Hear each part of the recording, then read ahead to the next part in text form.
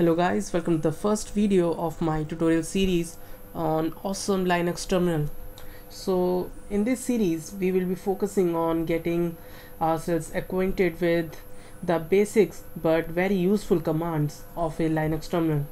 So I'm not a Linux expert but through this video series I will try to explain everything that I know and which may come handy for a new Linux user.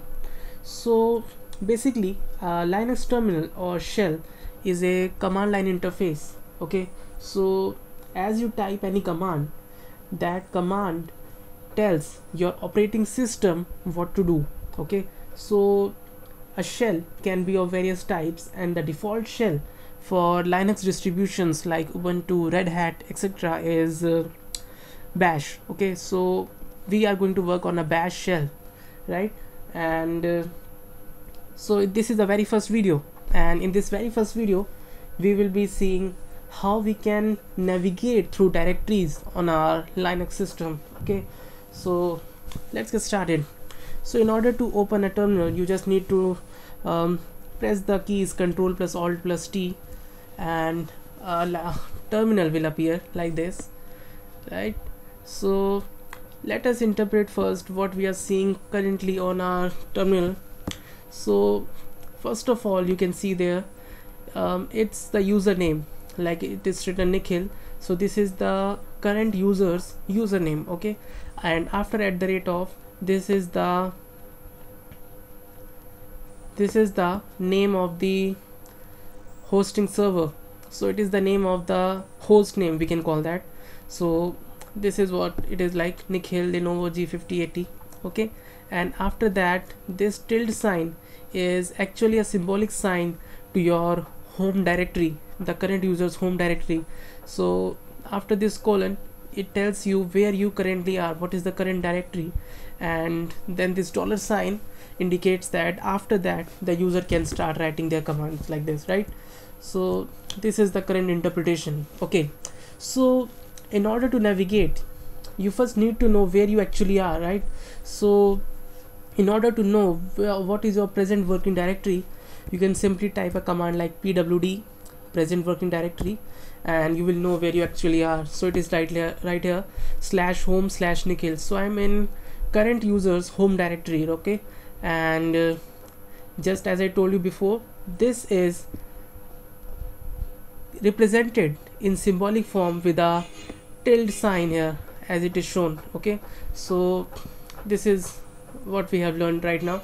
Okay now let us see what is the directory structure of a Linux system. So here you can see um, a root directory is represented like this right? So a root directory is at the top level. After that these are the child directories. And in these child directories one of them is home as you can see. So this directory contains all the users home directories. So like I had uh, a user Nikhil right? So it is slash home slash Nikhil okay? So this is how the directory structure looks like. So what if I want to move from one directory to another right? So for that we use a command called uh, cd. cd means change directory okay? So change directory from where? I mean change directory change your current directory to which directory? You will have to tell that right? So you can give here two type of paths. One is called absolute path and another one is called relative path. And so first of all we are gonna see how we can give absolute paths. So absolute paths are given in terms of the root directory. So what if i just type cd slash? So it will take me to the root directory okay? So i am currently in the root directory right? Now what if I want to move to my home directory? So I can just type cd slash home. So I have entered the home directory right? And then cd cd. Okay now what if I want to do I want to give a relative path? So let us talk about relative path now. So a relative path is given in terms of the present directory. So from home I want to enter Nikhil okay? So this directory where we were currently where we were originally right? So I can just type cd nikhil. So I have not put any slash symbol here right? So I mean to say that I want to change directory relative to the current directory.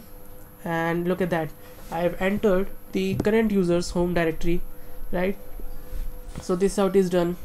Okay now what if I want to enter my what if I want to enter my desktop? Okay so for that you can just type cd desktop. So now I am in my desktop directory right? So in the desktop directory as you can see here there are several files like lds.jpg and this example directory right? So what is the way to know that what are the contents of my current directory? Okay so to know that we have this command ls. So we are now going to see this third command. The first one was pwd then it was cd and now we are going to talk about ls. So as you type ls it lists all the files and folders inside your current directory. So it is lds.jpg and the example directory right? So let me enter the example directory. So I've entered the example directory and if I type ls I will know that yeah there are two folders sub example 1 sub example 2 and a file lds.jpg again. So let me show you. Yeah it's like this right so this is my examples folder. Okay now what if I want to know a bit more about the contents of my current folder? So for that you can just type hyphen l. So this argument will produce um, a more detailed version of your files and folders information. So look at that here there are there is a lot of information right? So let us try to interpret a bit.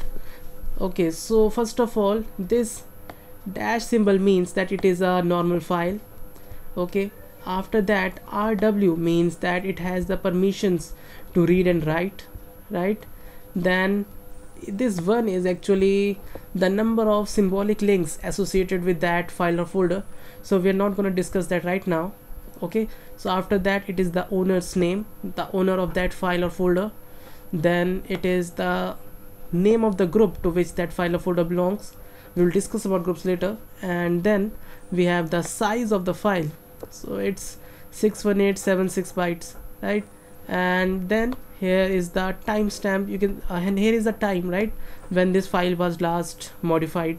So it's may 9 10 8 am okay. And then at last there is the name of the file.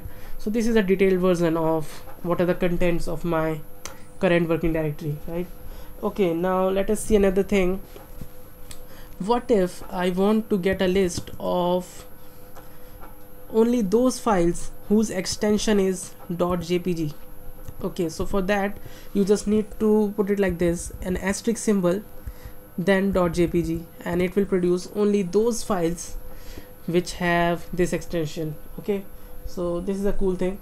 Okay now let's move on to next thing that is very handy to know which is how you can move back to your parent directory right? Um, I am currently in example directory right? And I want to move back to desktop. So for that you just need to type cd and then these two dot symbols so these two dot symbols will basically take you back to your parent directory like this yeah? So this is what we can do. So this is all about navigating through your uh, linux system and we'll be covering more in the upcoming videos. So thanks for watching and stay tuned